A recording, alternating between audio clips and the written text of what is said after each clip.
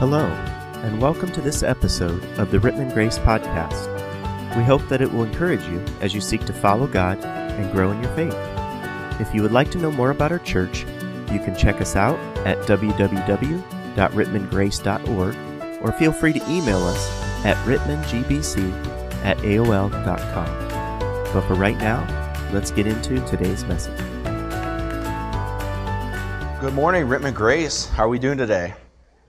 Hope everybody's having a good weekend so far. Uh, my name is Clark. I'm one of the pastors here, and if we've never met, love to meet you. I'd love to meet your family afterwards, so feel free to, to stick around, like Julie said. Um, and also, if we have met, I would love to just catch up with you and see how everything's going in your world.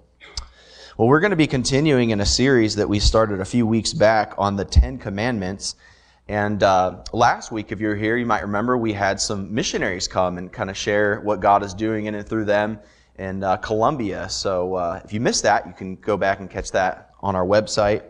Uh, but I want to recap a little bit since last week we kind of hit pause on our current uh, series in Exodus 20. So a quick recap a little bit. Uh, week one, when we started this series, we actually didn't dive right into the Ten Commandments. We did a little bit of an introduction and looked at uh, nine misconceptions about the Ten Commandments. And we also mentioned that these commandments are not restraining.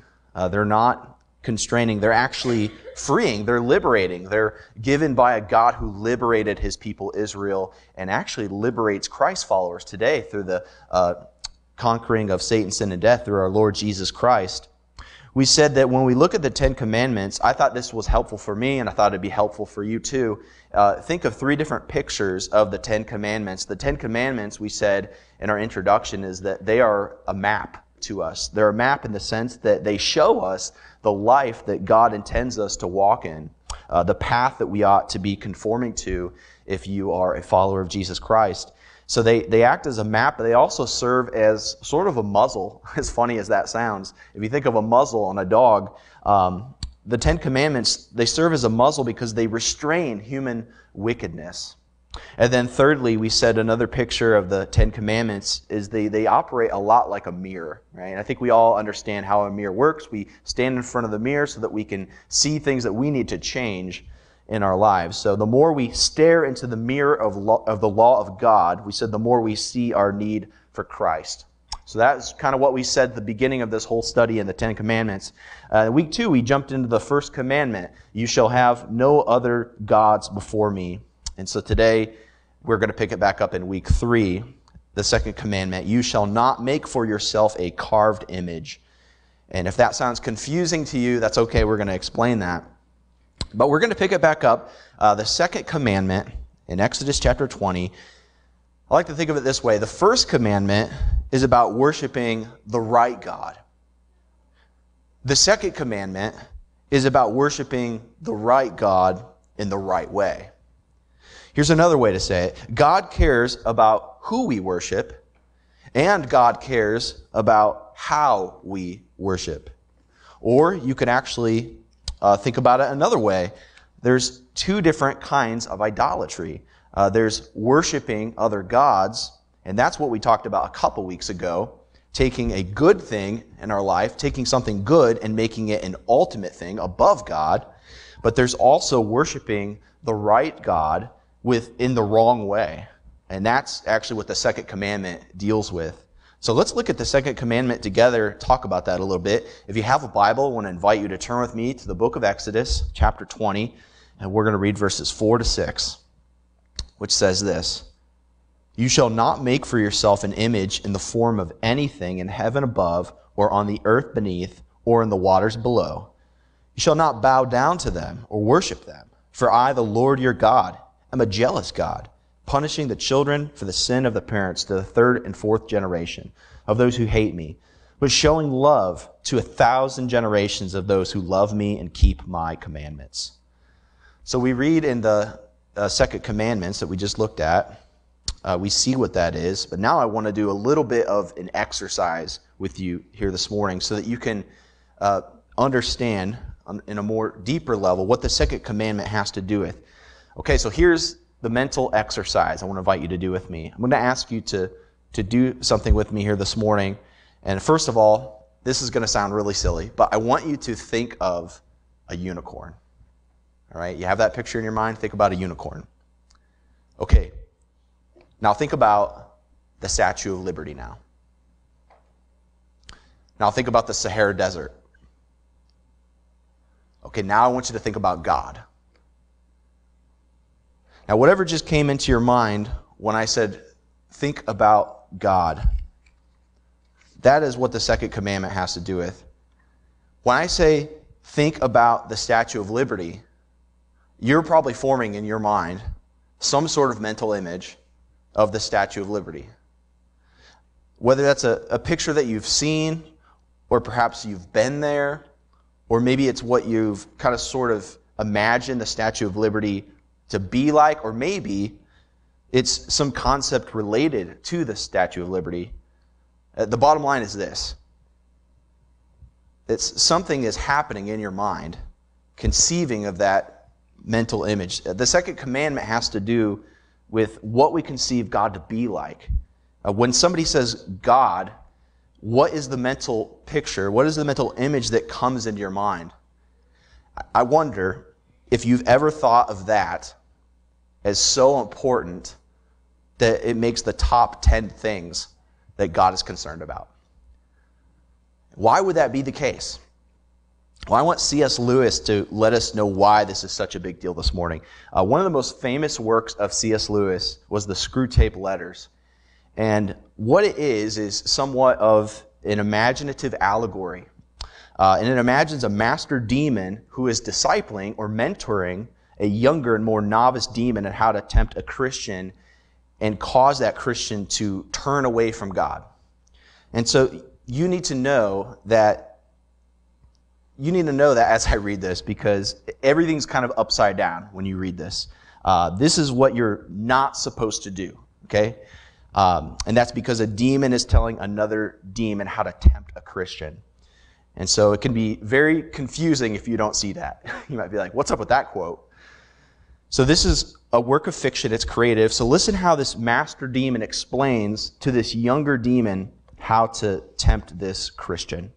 So here's, here's what it says. The humans do not start from that direct perception of God, which we unhappily cannot avoid. If you look into your patient's mind when he is praying, if you examine the object to which he is attending, you will find that it is a composite object containing many quite ridiculous ingredients. I've known cases where what the patient called his God was actually located up and to the left at the corner of his bedroom ceiling, or inside his own head, or in a crucifix on the wall. But whatever the nature of the composite object, you must keep him praying to it, to the thing that he has made, not, excuse me, not to the person who has made him. For if he ever consciously directs his prayers, not to what I think thou art, but to what thou knowest thyself to be, our situation is desperate.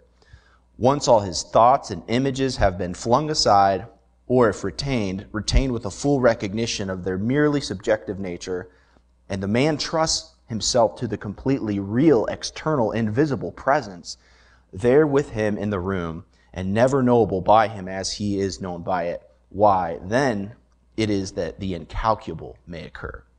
So you see what C.S. Lewis is saying. He's saying a lot of things, but what he's getting at is that there's the real God, completely real, external, invisible, and never knowable by us in the same way that we are known by Him. And then there are images, these ideas that we have about God. Uh, Uncle Screwtape is what he's saying is if you can get a Christian praying to his idea of God instead of the real God, then that's a win for Satan. And this is why the second commandment matters because idolatry begins in the mind. And here's what another great Christian leader says, A.W. Tozer. Listen to what he says. He says, Let us beware lest we in our pride accept the erroneous notion that idolatry consists only in kneeling before visible objects of adoration, and that civilized people are therefore free from it.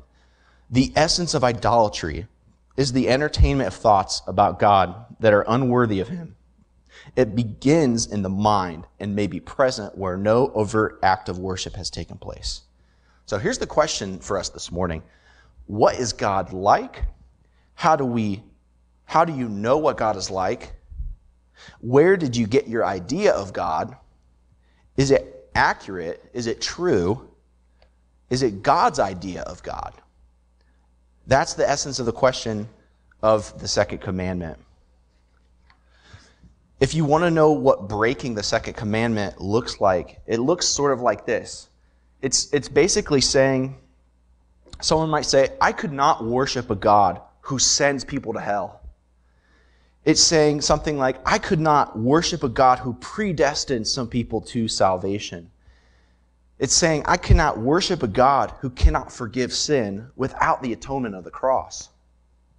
In each of those cases, what people have done is they, to take apart a biblical material about God and to fill it out in accordance with their own imagination of what that must mean and what the implications of that must be. And then decide based on that idea that God is not worthy of worship. But can't you see what's happening when you do that? That's the very nature of idolatry.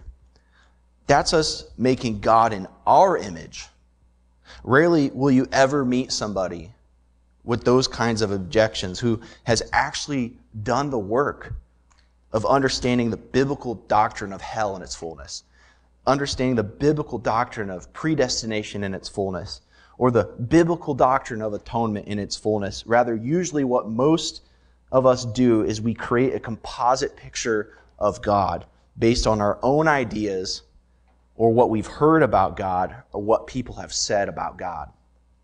And then we project that onto God and then we say, well, I'm not sure if that God is worth worshiping.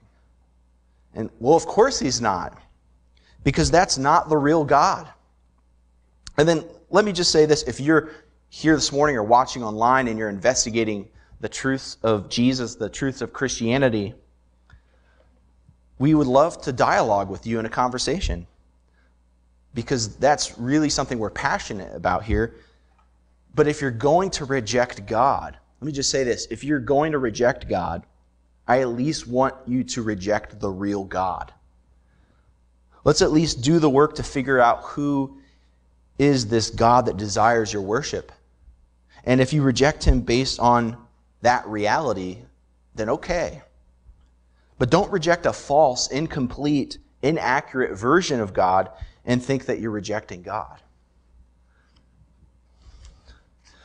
So, to break the second commandment is to impose our ideas about God onto God. To keep the second commandment is to submit to God's revelation of Himself. How do we know what God is like? How do we develop accurate images, conceptions, and ideas of God? I think the answer is we listen to how God has revealed himself. We pay attention to what God has said that he is like. If you're taking notes, you can write this down. I want us to see today that God reveals himself to us in two primary ways. The first way is this God has revealed himself to us through his word. God has revealed himself to us through his word. Uh, think about this with me. We live in a relentlessly image driven culture, don't we? We have televisions in our living rooms, and we have touch screens in our cars. We have smartphones in our pockets. Everything in our lives is visual.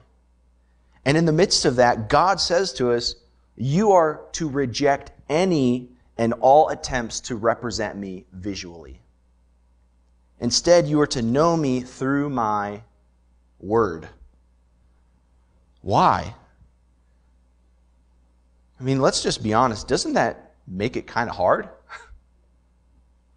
Don't you wish sometimes, maybe this is just me, but don't you wish sometimes instead of giving you a Bible, God had given you a documentary to watch? Doesn't it seem like that might be a little bit easier? Why would God say, I don't want you to represent me through an image? Because I want you to represent, I want you to know me through my word. Well, here's why. Because Only words are sufficient to reveal what is immaterial, infinite, invisible, and immortal. God cannot be adequately represented by anything that exists in creation because He is beyond all that. He is above it all. He created it all. And none of it adequately represents Him. So, how do we, how do our minds form concepts of God? Of a God that's immaterial? And I think the answer is quite simple it's through words. It's through words. Let me give you an example. This is another kind of fun exercise. Think about the number one. This is kind of silly, but think about the number one. Now, where can you take me in the world to show me the number one? You could show me a printed number one on a page. That's a representation of the number one. But where do you actually find the number one? And you go, You're weird, man. What are you talking about? As you reflect on the number one, here's what you realize. You've never seen the number one, but you've seen it on a page, you've seen it on a screen. But all that is a signifier that represents to you this concept called oneness or singularity. Like to say that in a room there is one pulpit, there is one stage, it's an abstract idea that your mind can understand, even though you cannot show me anywhere in the created world the number one. And that's why mathematics reveals God in ways that we need. See, God is a similar concept. God is universal. God is immaterial. God is spiritual. He cannot be represented by anything concrete. Yet at the same time, we can know him. That's crazy. The same way we can know the number one or the concept of peace or the idea of justice. We can know these things because God has wired our minds to think abstractly and to conceive of reality. But for our minds to do that, we need words. So we keep the second commandment by humbling ourselves under the Word of God and by seeking to know God through His Word. And this is why the Word of God is the centerpiece of Christian worship. This is why every Sunday we gather together here at Rittman Grace, and you'll notice that the songs that we sing in this church, they're not poppy love songs to Jesus, but they're rather songs whose content come directly from the pages of Scripture. They're rooted in God's Word. And you'll notice that every week we have the Word read aloud, just like we did earlier. We have a Scripture reading. We're hearing from the Word of God. We're hearing from the Word of God being preached. And the Word is grounded, excuse me, the worship is grounded in the Word of God. Why is that? Because this is what God requires of us in the second commandment. And this is what it requires our mind to form a concept of God that is true and that is accurate. And so the question is this Do you love, do you treasure, do you revere the Word of God? Are you thankful that God has revealed Himself in His Word? I think we ought to be thankful and grateful for the Word of God because that is how God has chosen to reveal Himself to us. So God reveals Himself to us in two primary ways. The first way is God has revealed Himself to us through His Word. And the second way God has revealed himself to us is through his Son. God has revealed himself to us through his Son. You see, the second commandment is not only law, it's also prophecy. The second commandment is not only law, it's also prophecy. Think about it. Why would God prohibit his people from making images of him? And the answer is because he is preparing to send us his own image. God's people in the Old Testament surrounded in the ancient Near East by cultures who represented their God with physical, tangible idols. And they were commanded to have no images whatsoever. And they were to be totally alone in their world as the only people on earth who said, we worship a God who cannot be represented by any physical image. Why? To build anticipation. God is preparing his people, and he is preparing the whole world around them for the most dramatic reveal in all of human history. Like if you thought Fixer Upper was cool, that's not a big deal. The second commandment is God setting the stage for the most dramatic reveal in all of human history. The incarnation of the Lord Jesus Christ is what we celebrate at Christmas every year, Advent. God sending to us his very own image. I love the way Paul says it in Colossians 1 He is the image of the invisible God. Colossians 2, Paul says, In him all the fullness of God was pleased to dwell. And the author of Hebrews chapter 1 says, He is the radiance of the glory of God, the exact imprint of his nature. The one religion in all the earth that was commanded to have no images ends up having the clearest and the most beautiful image of God. How amazing is that? God has revealed himself in his word, God has revealed himself in his son, Jesus Christ. To keep the second commandment is to submit to God's revelation of himself. It's to say, rather than projecting upon God images of what we wish God was like, or what we supposed God was like, or what we thought God was like, we instead allow God to define himself and tell us what he is like in his word and in his son Jesus. Which, by the way, there, it's not an accident that the Apostle John says, In the beginning was the Word. And then later on, the Word became flesh and dwelt among us. Why is Jesus the Word? Because Jesus is God's fullest declaration and revelation of Himself. Have you noticed that in Christian art, almost never is there a visual representation of the image of God? Michelangelo's creation of Adam is perhaps the only exception that I can think of. But even that, we understand it, that's meant to be somewhat artistic and symbolic. And yet, Christian art is full of the Lord Jesus Christ, some better than others. I think we can all agree we've seen some pretty bad Jesus art, right? The, the Swedish Jesus, I like to call it, the blonde hair, blue eyed Jesus. Jesus is probably not blue eyed and North European. So it's unfortunate that some art has depicted him that way, but why is Christian art so comfortable painting pictures of Jesus? It's because Jesus was a real person. In Jesus, God took on flesh. So when we represent the Lord Jesus Christ in art, though we should do so reverently and carefully, we are following God's own revelation of himself. And this is why in Christian art, you almost never see representations of the Father and the Holy Spirit, but you see lots of representations of Jesus. Why is that? Because Jesus is God's own revelation of himself. He took on human form, and we know what a human looks like. So we can embrace that this is God's imaging of himself. It's appropriate for us to reflect that in art. God prohibits his people from making images of him because he has purpose to show forth the image of himself in the person of Jesus Christ. And here's the beautiful thing it is in and through Jesus that we obey the second commandment. It's in Jesus and it's through Jesus that our worship is perfected and made complete. So if you've been paying attention at all, this is what your mind should be thinking at this point.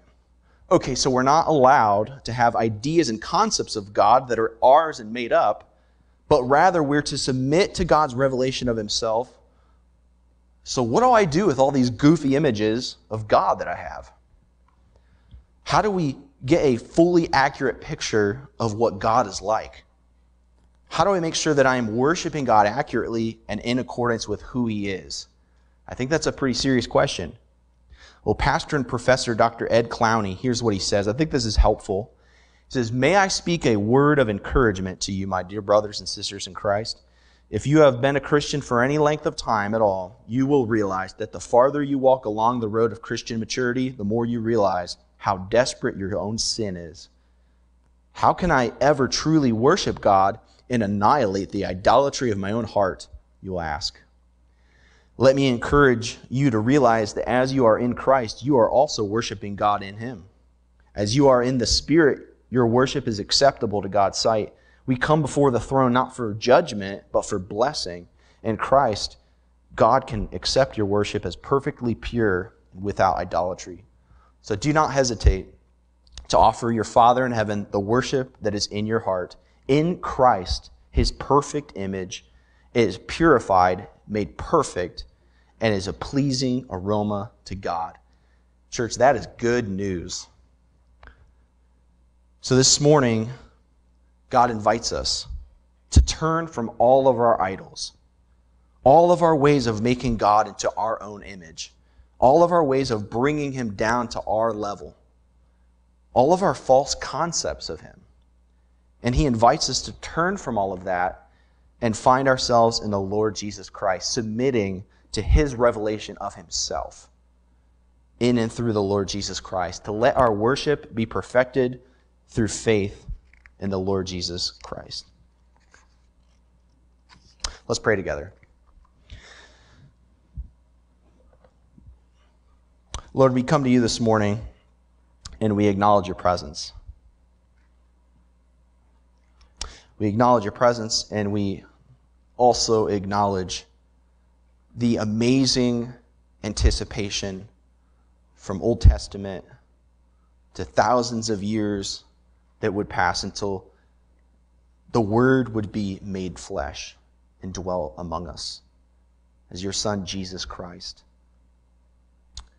who would go to the cross, who would die for our sin, who would take our place, who would take our punishment, who would give us the promise of forgiveness of sins, the hope of eternal life. We, we praise you for that. We praise you that your image is perfected and made complete in Jesus. And Lord, we also confess that our hearts have drifted from that. Forgive us for just misunderstanding who you are and trying to create our own image of who you are. Lord, if we're not worshiping the God of the Bible, we are worshiping a God of our own imagination. Thank you for Jesus. Lord, help us to keep our eyes focused on who you truly are. Help us to lean on others in the body of Christ for that kind of wisdom and discernment so we can think rightly and accurately of who you are, so that we can represent you truly and accurately to people who don't know you, so that we can at least help them to see the real God, whether they are open to following you or not, God. Help us to do these things in Jesus' name. Amen. Thanks again for listening to this episode of the Rittman Grace Podcast. If you have questions or would like to know more about our church, please visit www.rittmangrace.org or email us at rittmangbc at aol.com.